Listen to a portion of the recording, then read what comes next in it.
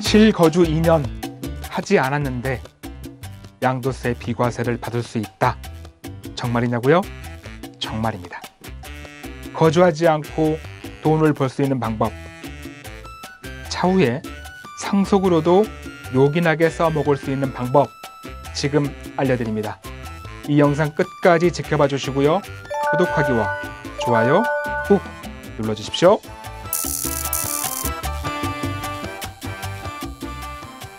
네, 안녕하세요. 박찬웅의 부동산 쇼 부자남 박찬웅입니다.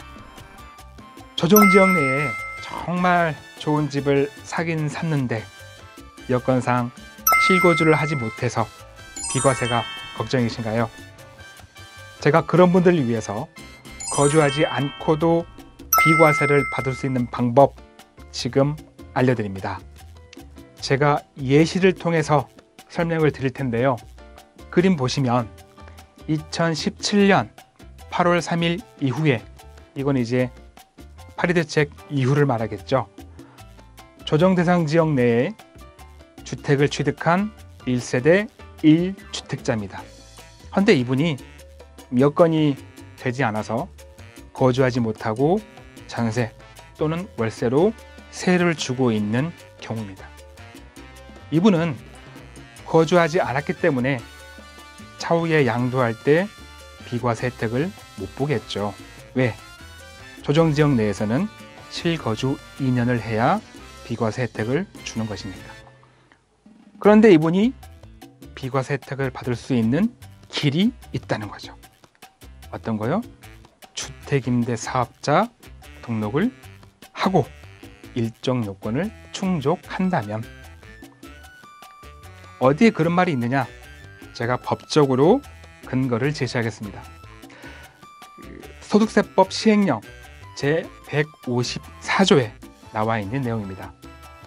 여기에는 1세대 1주택의 범위가 나와 있는데 1항에서 어, 법 제89조 제1항 제3호 과목에서 어쩌고 저쩌고 하다가 다만 1세대가 양도일 현재 국내에 1주택을 보유하고 있는 경우로서 이 말이 곧 1세대 1주택을 말합니다.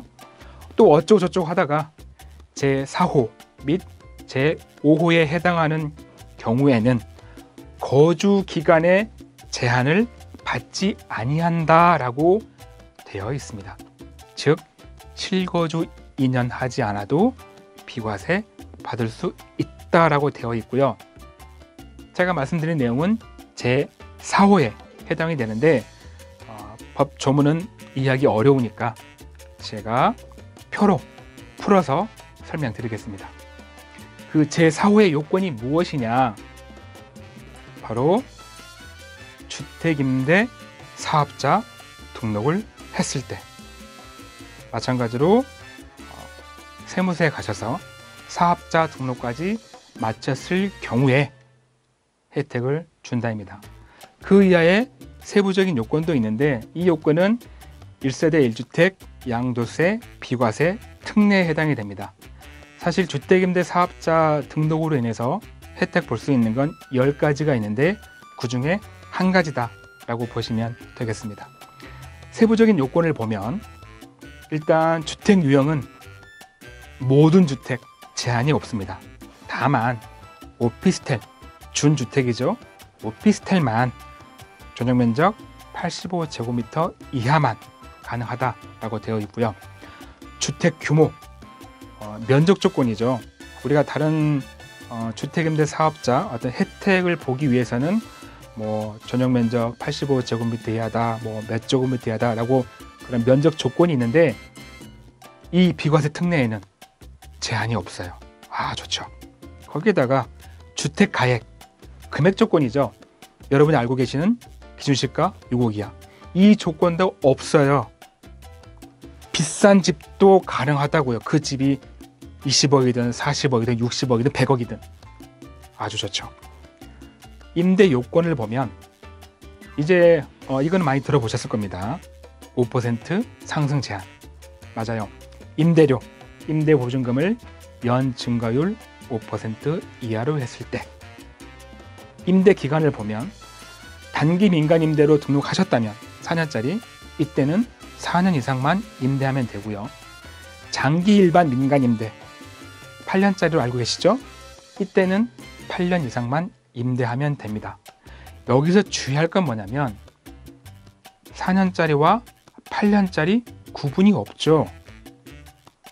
여러분이 아마 잘 알고 계시는 뭐 정부세 배제나 양도세, 중과 배제 이러한 것들은 좀 긴 거 8년짜리 해야 혜택을 많이 보는데 여기에서는 비과세 특례에서는 상관이 없어요. 즉 만약에 정말 비싼 집 그리고 넓은 집 정말 10가지 중에서 다른 9가지 어- 어떤 것도 혜택을 보지 못하고 딱 이 한 가지만 노린다면 굳이 8년짜리 하실 필요가 없다는 거예요.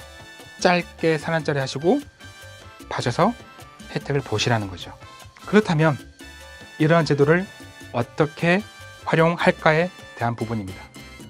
먼저 제가 앞서 말씀드린 대로 정말 좋은 집을 샀는데 1주택자가 좀 경제적인 여건이 안 돼서 실거주를 못해요. 이런 분들에게 일단 정말 좋겠죠. 거주하지 않고 피가대 받을 수 있으니까 단 주택임대 사업자를 등록한다는 조건 하에 말이죠. 또 한 가지는 어, 제가 오프닝에서 말씀드렸던 상속을 생각하신 분들이라면 상속 전략으로도 굉장히 좋다는 거예요. 어, 자녀가 상속 받았는데 그 자녀가 실거주할 요건이 안 된다면 이때 부모가 미리 등록을 해서 상속으로 주는 거죠. 왜냐?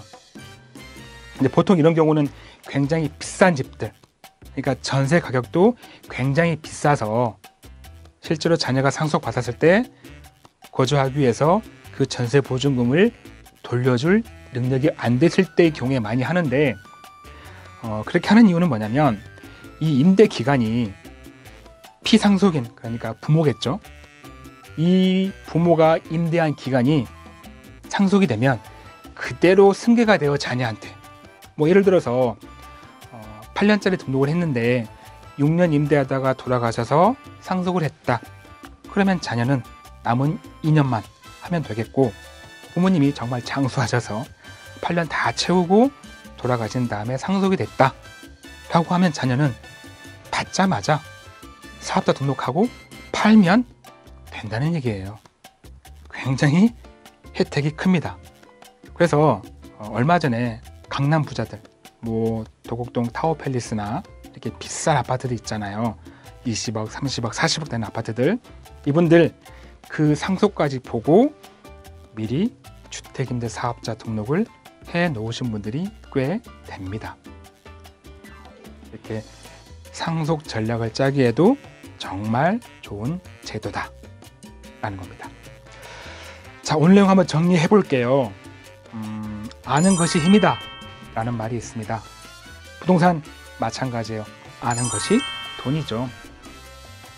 정말 강력한 정부의 규제 정책이 이어지고 있지만 그 속에서도 주택임대 사업자를 잘 이용하면 그 속에서도 돈을 벌 수 있는 길은 있습니다.